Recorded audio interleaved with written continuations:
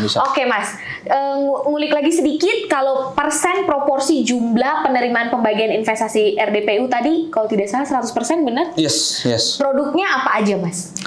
100% penempatannya instrumen pasar uang. Oke, 100% pasar uang.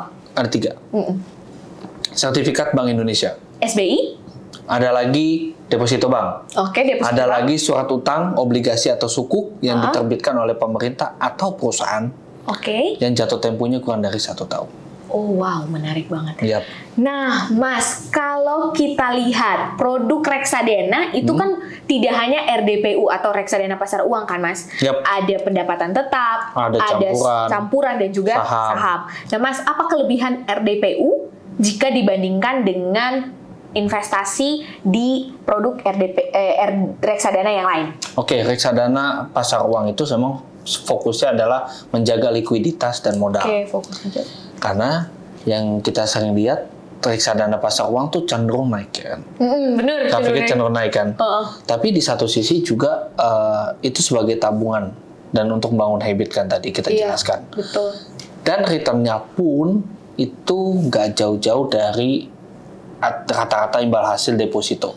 Oh, I see. Jadi deposito berapa? Hmm. Oke kita mau kalahin indeksnya deposito kan banyak tuh indeks-indeks deposito. Kalau Hmm. kita cari di data feed kayak di Bloomberg, Pasardana, Infovesta dan lain-lain, Hmm. itu ada namanya eh, indeks deposito berapa bulan. Nah Hmm. itu yang kita mau beating. Eh, sorry, reksadana pasar uang itu mau mengalahkan indeks tersebut. Hmm. Lalu reksadana pak, semua reksadana Hmm. itu bukan objek pajak.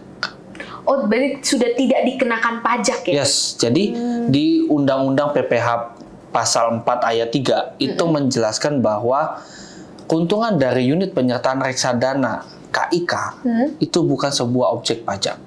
Jadi ketika kita melakukan redemption untuk tujuan keuangan kita, kita nggak akan harus bayar pajak. Paling melapor aja bahwa kita pernah punya reksadana ini loh selama tahun ini gitu. Hmm. Oh, Simpel banget kan? Oh, super menarik mas.